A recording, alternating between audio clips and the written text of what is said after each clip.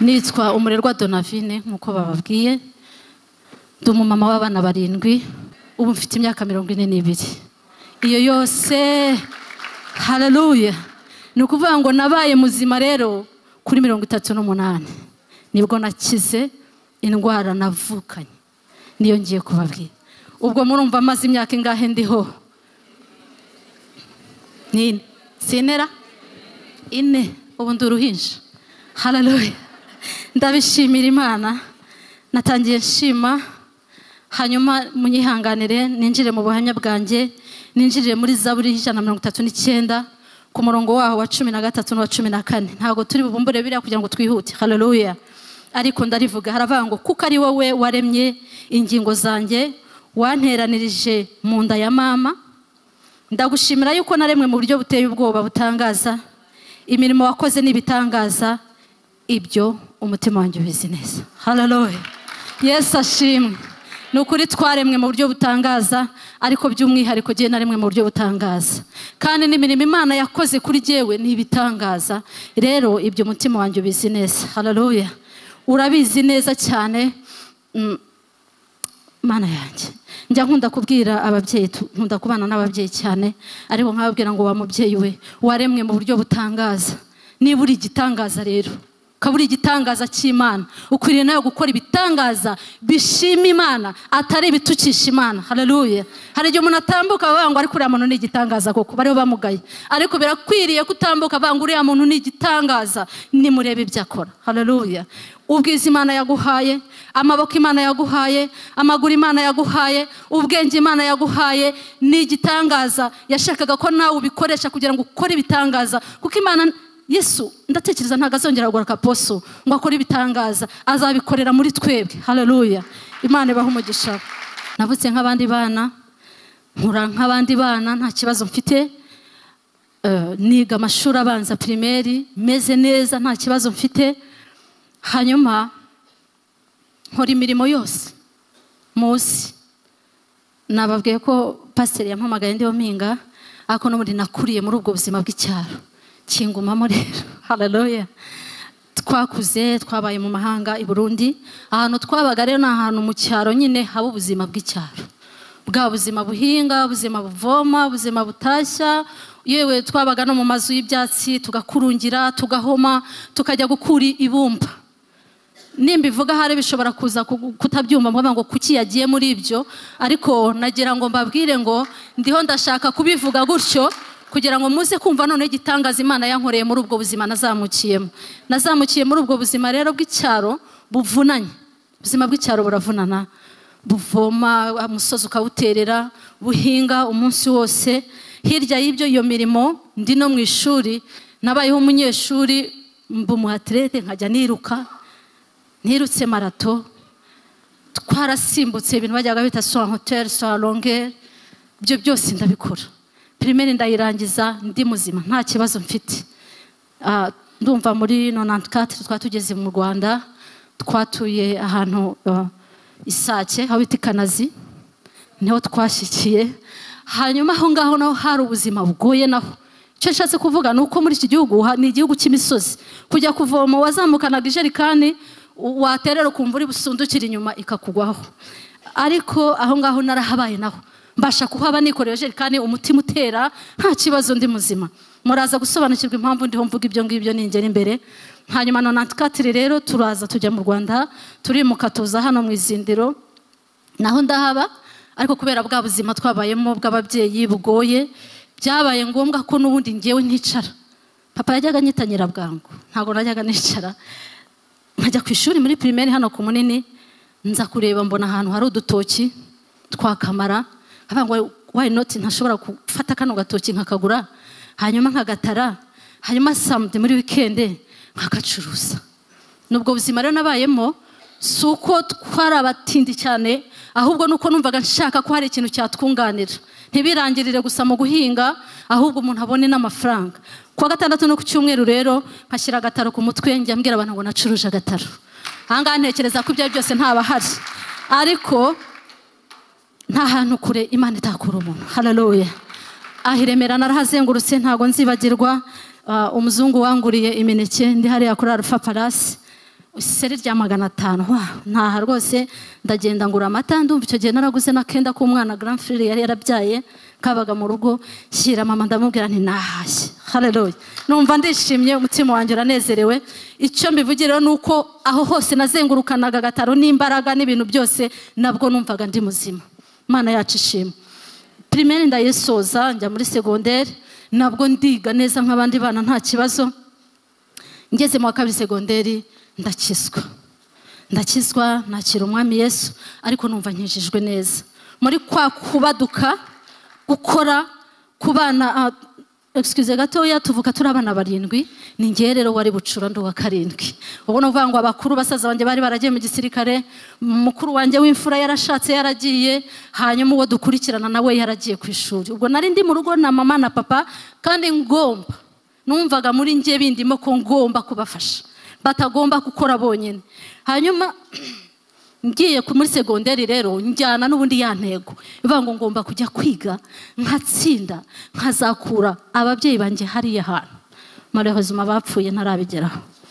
Hanyuma ndiga ndakizwa maze gukizwa rero nkizwa na neza umutima wanjye ubizi neza. Hararuye yesu ntashimwe numva umutima wanjye ubizi neza ko nari nkijijwe neza kuko numvaga mfite intego numvaga mfite intumbero. Ndababwiza ukuri iyo umuntu akijijwe. Iyo umuntu ari muri uru rugendo iyo umuntu ari mu ihema undi ari mu marembo ntabwo ari no gupfa kuhicara ntabwo nubwo ari no gupfa kuhaguma. Hari kondisiyo hararuya njya ndeba kuba mu marembo nsaba no gukanura. Ibyo ngibyo reka ko bijyamo ndi mu buhamya. Hararuya ariko naragenda avuga ngo reka ndwane ishyaka nirinde imyaka mumaze iminsi mugana n'urubyiruko rw'imyaka cumi ariko iyo myaka agiye nayibayemo numva mfite uburakari bwinshi cyane bwo gushaka kugira ahantu nagera kugira ngo iwacu bagire nabo icyo bavamo. Ndasoza rero nsoza amashuri segonderi ndayisoza ndi muzima. Nicyo nshaka kubabwira. Muzi ko ntabwo ubuhamya bw'uburwayi. Muri njye nari muzima nibonaga ndi muzima. Hanyuma ndangije segonderi. Desite y'imana ubu sinzi igihe numvaga ngomba kwiga hanyuma bigeze mu gihe cy'amanota kandi ntabwo nigeze ndenga umwanya wa kabiri. Numva nararaga niga nkirirwa niga hahandi wiga ukajya urota. Urota inoti. N'akantu nibagiwe nkabyuka nkajya kukareba. Ariko nabuze amanota kuri diporome nyabuze biranshaka. Iwacu ntabwo bari kunyishyurira iniverisite ariko mbibonamo umugambi w'imana. Umugambi w'imana ntabwo uyoba. Umeze utya kandi nta n'ubwo uvaho. Ntabwo natinze iwacu rero aventeye nahise nshaka. Nayo impamvu yatumye nshaka narareba nkavuga ubu buzima ndimo. Kandi ubwo inyuma yanjye naho hari shene y'abasore. Tuba. Kandi noneho nkaba nkijijwe neza. Ibyo bintu byose mu bihuza ndajya navuga rero ngomba kuva aha hantu. Ngomba kuva aha hantu ahantu nzakenera amavuta meza ahantu nzakenera kwambara neza ndangije segonderi ndetse n'abandi bakobwa rero nshobora mwendere jesite guhita nyerera. Ndavuga rero reka nyerere njya mu rugo nuko nagiye. Yesu nashima hararuya imana mu mutware mwamwumvise. Ari mu marembo. Neza. Hararuya ahagazemo neza. Turabana ndi muzima. Ngo ndagira ngo akantu mugakomezanye. Numva ndi muzima pe. Ubwo ngeze segonderi nakomeje kuba umusiporutifu nakinnye basiketi nkina vore mbese mva. Hararuya ndangije maze gushaka twashakanye demiride dushakana dushoye urukundo rwonyine n'agakiza gusa. Hararuya ariko imana yacu rero ni imana ihera kuri zeru. Njya mbona simbizi nkunda kwigisha urubyiruko uretse ko na byo ari byiza kuri iki gihe ariko akabanza akavuga ngo ufite iki? Yize iki afite amashuri angahe? Hari nkavuga ngo buri imana itabigiyemo ngo ibibaheremo umugisha. Ama etaje arasenyuka. Imodoka zikagenda. Divorce zikaba kandi afite za tekisiyeri nyinshi. Numva rero ikibanza mbere y'ibintu byose ni agakiza n'urukundo. Niko njya nkunda kubwira abantu. Niko njya nkunda kubwira abana bashyingirwa. Nabyaye abana barindwi mu nda yanjye ariko nshingira n'abakobwa barindwi. Ubu hararuya ariko ndababwira ngo mbere na mbere urukundo. Rero twashakanye dufitanye urukundo ariko nta kashi nta mafaranga nta nzu ntacyo ntumbaze ngo icyo gihe twatekerezaga iki? Ntabyo. Nsubije inyuma sinamenya uko byagenda kuko nagiyeyo ntanamubajije konte nta kindi nari nitayeho uretse kumubona. Ko akijijwe neza kandi nanjye nkijijwe kandi dukundana. Twarabanye rero imana iduha umugisha turabyara. Ntabwo twatinze nagezeyo. Imana iduha urubyaro ba bandi bose mwumvise uyu munsi ni barindwi. Hararoya abahungu batanu n'abakobwa babiri. Maze kugera mu rugo ngiye kwinjira mu gice cy'uburwayi. Ndahagera nabwo ndakomeza. Ya mibereho yanjye ndayikomeza. Ntabwo nigeze nicara.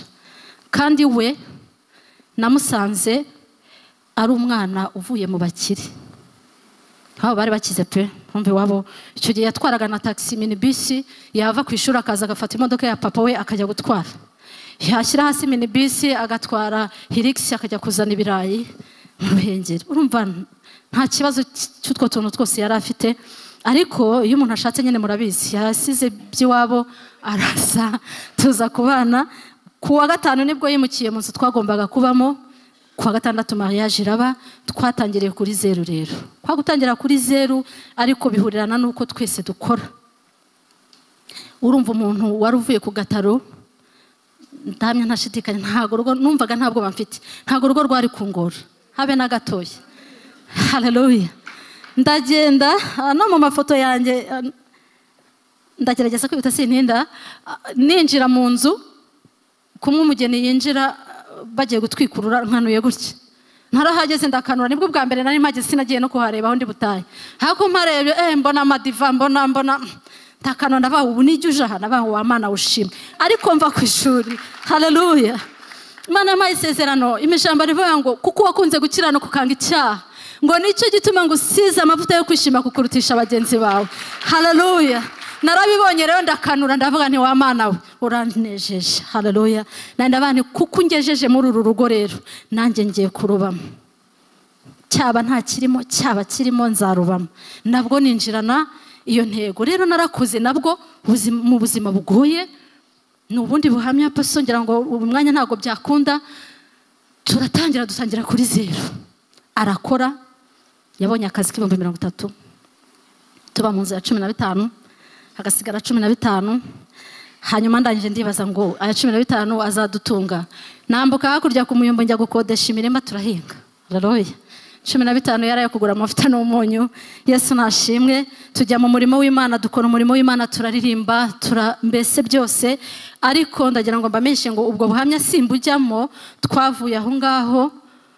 Ducuruza amashu ducuruza amakara dushinga oto ekore akajya yigisha puratike nkigisha teori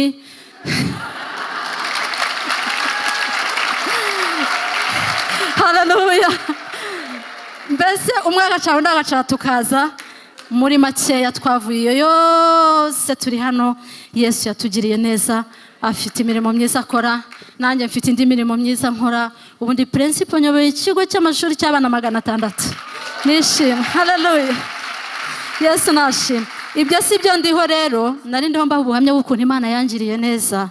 Nyuma maze gushaka nyine turabyara noneho ngeze ku muhungu wa kabiri mbyaye umuhungu wa kabiri ntangira kumva umubiri uri revoruta mfite umuhungu wa kabiri nakoraga mu kakopeke bitaga igisubizo.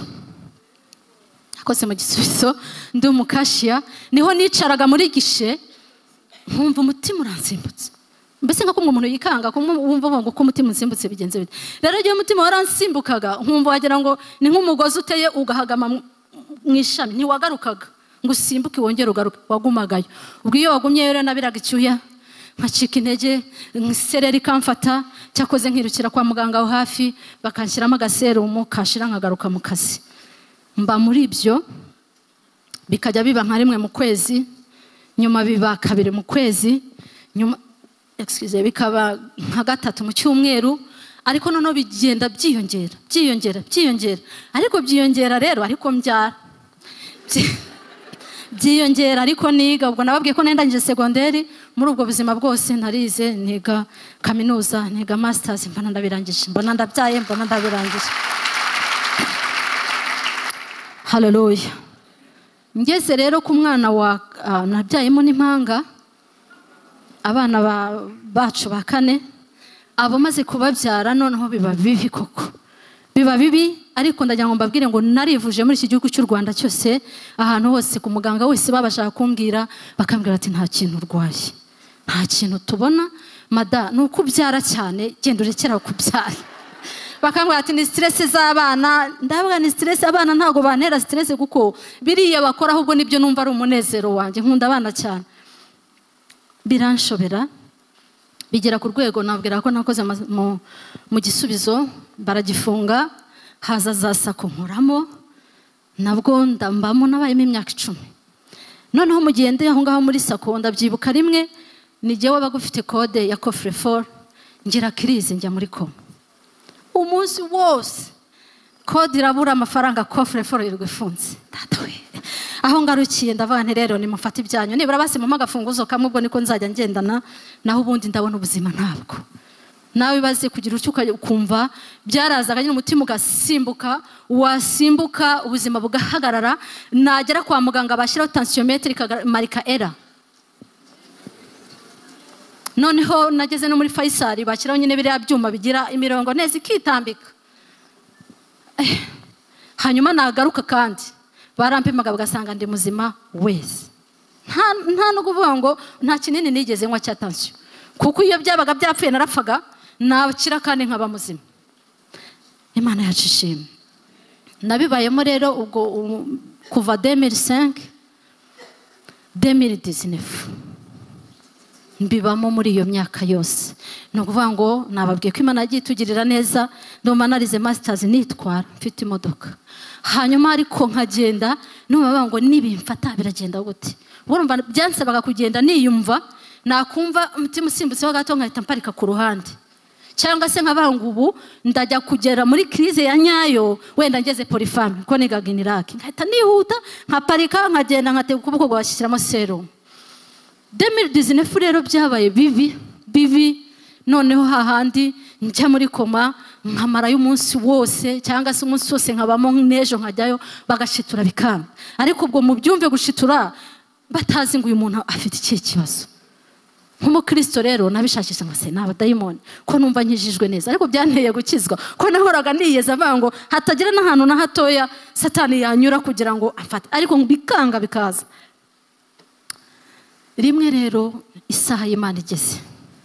Hararoya isaha y'imana igeze umutware aganira n'umuntu bisanzwe. Bahuye aravuga ariko umudamu wanjye pe ndiho ndareba nkabona aragenda arushaho ku- kumera nabi. Araje ambwira ati ariko mwigeze mujya kureba umusaza ufite agakirinike hariya ku gishushu k'umutima ni umusaza waje aje mu kiruhuko cy'izabukuru ariko afite agakabine njyayo. Aranjyana ariko agenda nseta imbere ndabaga si uwo musaza wiziye kuruhuka. Ahantu hose ko twagiyeyo babuze indwara ubu bazankiza njye nari maze kwiyakira mvuga ngo hari igihe nzasinzira nkagenda ariko hagati aho nahoraga ndota inzozi nkarota ndiho noga inyanja. Nkayoga nkayoga ariko nagera nko hagati. Umuntu akampamagara aho kugira ngo nkomeze nambuke nkambukira nka hariya ntaragenda. Ubwo ngubwo ndabana ariko ibyo byose nubwo mpfa sindapfa ngo ngende kuko ndota ntambutse. Ariko ndatuza abana nkajya mbareba niga kubasezera kuko mama rimwe nzasinzira nyine nsinzire. Ndabakunda cyane ndabiyegereza. Ndavuga ngo isaha isaha sinzagaruka. Uwo musaza rero tujya kumureba. Tugiye kumureba namugeze imbere ndarira. Ati bigenze bite kuri ze? Nawe rero ushobora kutambona n'indwara ndwaye. Ariko imana yo mu ijuru igukoresheje narambwiye ngo ushobora kutamvura ariko imana yo mu ijuru igukoresheje nibura ukamenya ikinyishe. Nagisinzira neza. Kuko ubu ni abadayimoni ko nta ruhare bamfite. Ni abarozi si ko numva n'umurozi atanshobora. Kuko ni isezerano dufite. Tuzarya ikica ntacyo kizadutwara. Umurozi akwishate ha ndabimubwira umusaza arampima nta kizame yakoze ki- kidasanzwe nk'ibyo abandi bose bakoraga. Ariko si uko abaganga bacu badashoboye. Hakuno ndagira ngo mbabwire ni isaha y'imana. Iyo isaha y'imana itaragera irafunga. Arangije aranariza amaze kwanariza ahita arahaguruka arazenguruka aravuga ati very interesting very interesting. Arazenguruka ahantu hose. Mm, biranyobera. Ndabasi umusaza bigenze bite? Eh aragaruka arongera chat. Time very sorry. Ntabwo bishimishije pe. Ariko biranshimishije kuko mbonye icyo wansabye. Wansabye kukumenyera ikikwishe dore rero ikikwishe ngiki. Arambwira ati wavuze ngo ufite abana bangahe? Icyo gihe nari mfite batandatu. Mfite batandatu. Ufite imyaka ingahe? Nari mfite mirongo itatu n'umunani. Ndamubwira. Ati rero ntabwo bishoboka. Nshaka umwana kandi byarashobotse. Ati ntabwo bishoboka kuko iyi ni indwara wavukanye. Ubwo muhite mwibuka bwa buzima. Iyi ni indwara wavukanye ni ukuvuga ngo iyo ngira ngo hano harimo abaganga iyo umwana avutse ntarire baramukubita ati impamvu bamukubita bashaka ko arira hari akantu kifunga. Iyo yasamye akarira hari akantu kifunga. Ati we rero uzabaze neza ushobora kuba utararize. Harimo umwenge. Ndagira ngo mumbwire ku myaka mirongo itatu n'umunani umuntu agakurana umwenge ku mutima. Akajya kuvoma agatererana ijerikani akazengurukana agataro remera na kigali yose. Hararuya akiruka marato turuwa milimetero afite umwenge ku mutima noneho abaganga barambwiraga batujye woga. Nkoga reba ufatiwe mu mazi urimo koga. Njya muri pisine ndoga koko. Muganga arambwira ati rikada ikintu cyose cyatuma umutima uparupa umutima utera cyane gishobora kuguheza umwuka ugahita upfa. Ndabani ati rero ni ukuvuga ngo iyo umwana ako kantu katifunze aba afite nyine ekisitara we iyo amaraso ugize impamvu ituma umutima utera cyane amaraso agashyuha arayoba. Iyo ayobeye ha hantu rero haba sirikwi mu mutima. Haba sirikwi amaraso ntiyongere gutembera mu mubiri niyo mpamvu ujya muri koma. Ati muri make ubusa n'uwapfuye. Kuko amaraso umutima ntusohora amaraso. Hararuya nyine ndashundarara numva mbuze ikintu navuga arangira abatu uzaba ushobora kuba utararize ariko ndumva bimbereye igitangaza kuba uriho bimbereye igitangaza kuba warabyaye. Twaremwe mu buryo butangaje. Hararuya mu buryo buteye ubwoba kandi n'imirimo imana yakoze iratangaje kuri twebwe. Ndabwira ni muganga rero byarashobotse birashoboka ko hari impamvu y'imana yakoze ibi ngibi. Ataramubwira ati rero nubwo bimeze bityo kuriya kuntu usigaye ujya muri koma ugatindamo uzakomerezaho? Rero ihute. Hano mu rwanda ntago babivura. Biragusaba kujya muri amerika cyangwa ukajya mu buhinde ndagira ngo mbabwire bavande ndaza kubabwira hasi mu kasamari nakoze. Imana yacu iratangaje. Ariko mwibuke iyo iza kubimbwira cyangwa nkabimenya ndi hahandi nyabisindo muri cya cyaro cyangwa ayo makuru nkaba nyafite ndiho nzengurutse akagataro cyangwa ayo makuru tukaba tuyafite turi muri otoye ko mwana we mwana ni igitangaza. Rero ubwo ntabwo umutima wasimbutse. Kubera ko twari dufite ubushobozi bwo kwivuza. Icyumweru kimwe nari ngeze mu buhinde barambaga barahafunga ndataha hararowe yesu ashimwe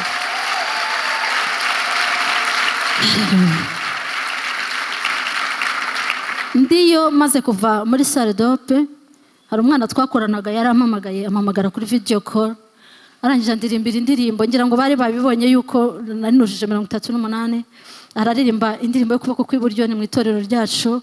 Avuga ngo mirongo itatu n'umunani irangiye. Hararuya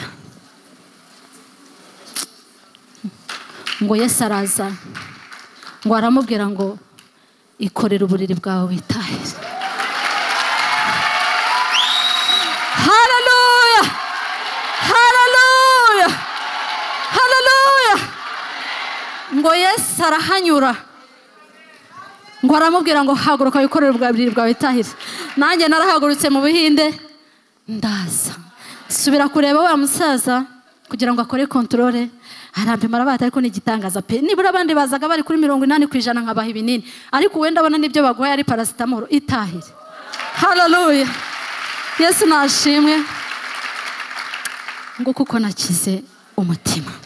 Hanyuma nkira umutima mvukanye. Kandi uwo mutima imana iwugaragaza neza. Dufite amafaranga yo kuwuvuza. Nakoze analize rero. Ndabanguye imana ni imana ki? Muzi ko hari amazina menshi y'imana.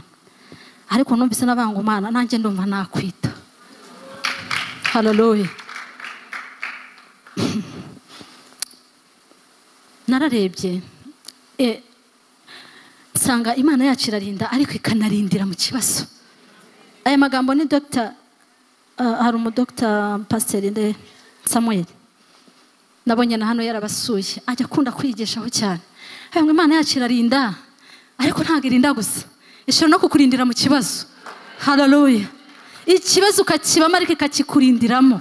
Yesu nashima. Yesaya mirongo ine na kabiri na gatatu umurongo wa kabiri. Uravuga ngo nunyura mu mazi. Nzaba ndi kumwe nawe. Nuca mu migezi ntizagutembana nunyura mu muriro ntuzashya kandi ibirimi byawe ntibizagira gute. Bizagufata. Hararuya aho ngaho ni ho nanyuze. Ndavuga ku mana ubu kubera iki utigeze? Ngira ngo mfatwe nikubite hasi nikoreye agatari remera bahurure. Imana ni igitangaza. Hanyuma yandindiyemo gutyo. Ndangije ndareba ndasanga umugambi w'imana ntago uvaho. Irawukurikirana mpaka niyo ya ndirimbo mbonye yaririmbye. Aravuga ngo aranyitegereza ngo urukundo n'imbabazi aravuga ngo genda ubeho kuko nubaho hari icyo nzakorera muri wowe. Hararuya yesu nashima nanjye yavuze ngo genda ubeho uzahura n'uriya mugabo. Mubane abe mu marembo nawe ube mu ihema. Mubyare bariya abana bose mumbere abakozi. Abana banjye ndabakunda. Njya rero mbabwira ngo mwabana mwe mureke dukorere imana. Dukorere imana kuko yatugiriye neza. Yadukuye aho idukura aho idukura aho idukura ariko nanjye niyo itandinda ku kwezi kumwe mvuka. Ntabwo namwe muba mwarabayeho. Ndavuga nti muze rero dukore imana bati mama ni byo. Nuko turangije urumva turi umuryango munini dukora aravi family. Umutware yitwa rurangwa valante hararuya turangije turavuga ngo tuzajya dukorera imana. Uravuga ngo njye n'umuhungu mukuru n'utwo dukobwa tubiri turavuga ngo twe tuzajya turirimba. Nubwo tutabizi neza ariko tuzabimenya. Hararuya undi wa kabiri n'uwa gatatu ubwo baracuranga ingoma. Baragenda baraziga mpaka barazimenya. Utwo tw'impanga kamwe gacuranga piyano akandi kagacuranga gitari. Hararuya hararuya ndavuga rero ngo aho tuzajya ducurangira imana turirimbira imana. Papa waba ajya imbere abwirize yigishe natwe tujye inyuma turirimbe kuko yesu wagize neza. Yesu nashima. Kandi ndabibashimira bararankundiye barabyemera. Babiri bakuru naje bari ku ishuri bambwira ngo barahansanga sinzi niba baje ariko imana ijya ibaha umugisha. Naje nanone kureba ubwo nararebye mbona niwo mugambi w'imana ko nawe gusa ubundi ubu wansigarije iki. Ko mbona nta ntawe ndi we. Ariko ndicana ndaziza bakubise ubundi aba bana bangana batya? Urumva ntacyo wasigariye? Si uyu mugabo kuko turabana nkabona intege nke zanjye zira azijyamo agafitinga neza. Nanjye nkabona ize ziraza nkumva nkwiriwemo nta kibazo. Tukabona biratambutse. Hararuye ndavuga rero uyu ni we wari uwanjye kandi nanjye n'igihe wari uwe. Rero uyu ni umugambi wawe kuko iyo ntabaho ntabwo twari guhura. Yesu nashima hanyuma ndongera nsanga imana yacu ari imana iduhisha ibyadutera ubwoba. Irabihisha pe. Njya ntekereza nkavuga ngo buriya ahubwo ikuyeho irido tukareba nyirizina ibiduhiga twagwa igihumure twashira. Hari igihe tujya tugira ubwoba mujya mugira akantu keza. Aposo imana igiye guha umugisha ngo wirira. Umubyeyi yavuze ati naje ndira ndaceceka. Ariko n'uvuga muri wirira n'uvuga ngo humura. Humura wirira wigira ubwoba. Kubera ko imana yacu irabiduhisha pe mba mbona biriya bidutera ubwoba. Ni nka makumyabiri ku ijana y'ibyakaduteye ubwoba. Kubera ko ibindi irabihisha pe nabibabwiye ngo iyo ibinyereka ikabyereka ababyeyi banjye hariya inyuma iyo ngiyo nababwiye twaturutse muri ubwo buzima twabayemo namwe mumbwire. Uretse kwikorera amaboko gusa nanjye nkagira ubwoba nkanapfa. Hano twari dutuye wajyaga kujya kwivuza ugatega ajo mpamvu ni amakamyo y'abasirikare bahitaga ngo ni jo mpamvu iyo jo mpamvu utayibona ukarwara ugakira. Imana ishimwe. Hararuye ukarwara ugakira indwara igakira ugakomeza ubuzima. Utaragera kwa muganga. Ngaho mbwira ako kana rero kavutse kameze gatyo. Kuko yarambwiye ngo niyo uhanyanyaje ugira ibiri. Wayirenza ukajya uruka amaraso. Nta byigeze bimbaho. Imana rero iduhisha ibyadutera ubwoba. Imana ikaduhisha ibyo tutashobora. Mu gihe cyayo gikwiriye ikavuga bati noneho genda wirwarize kuko ndabona none utari bwikubite hasi. Haleluya. Yesaya mirongo itanu na kane cumi na kane haranditse ngo uzakomezwa no gukiranuka. Agahato kazakuba kure. Kuko utazatinya uzaba kure y'ibiteye ubwoba. Haleluya. Iryo ni isezerano. Ni ukuri tuzaba kure y'ibidutera ubwoba. Ibi twita ko bidutera ubwoba ni akantu gato cyane. Gato cyane. Nushaka uzicara uhumure pe uba uti ibi ngibi ni toto imana izabikuraho nasanze imana rero na yo ikorera ku gihe nabivuze igihe cyarageze indwara iraboneka kuko ntabwo yari kuyigaragaza tutaribona uko tujya kwifuza yutube zari zitaranabaho cyane ngo nze wenda mbwire nka berenari amfashe tujye gushaka umunyamakuru amfashe kugira gute Gu- gushaka abasiponsa reka ariko yesu ubwe yarabanje aregeranya aregeranya aregeranya aregeranya abonye ku gakonti hari ukuntu bimeze aravuga ati dore ngiyi ndwara agenda haleluya yesu nashimwe. Ikorera ku gihe rero tangiriro cumi n'umunani cumi na gatatu umurongo wa cumi na gatatu kujya ku cumi na kane. Ngo uwiteka abaza aburahamu ati ni iki gise- ki- gise- kigusekeje sara? Akibaza ati "Ni- ni ukuri koko nzabyara nkecuye? Hari ikinanira imana se? Mu gihe cyashyizweho iki gihe cy'umwaka nikigaruka nzakugarukaho sara abyara umuhungu. Ndumva ariyo teme yanyu ariko nashatse kwivugamo iki. Hari ikinanira imana se? Igihe cy'imana. Iki gihe. Ngo nikigaruka nzakugarukaho. Bwira mugenzi wawe ngo imana izakugarukaho. Ndasoje imana ibaho umugisha. Imana ishimwe imana ishimwe.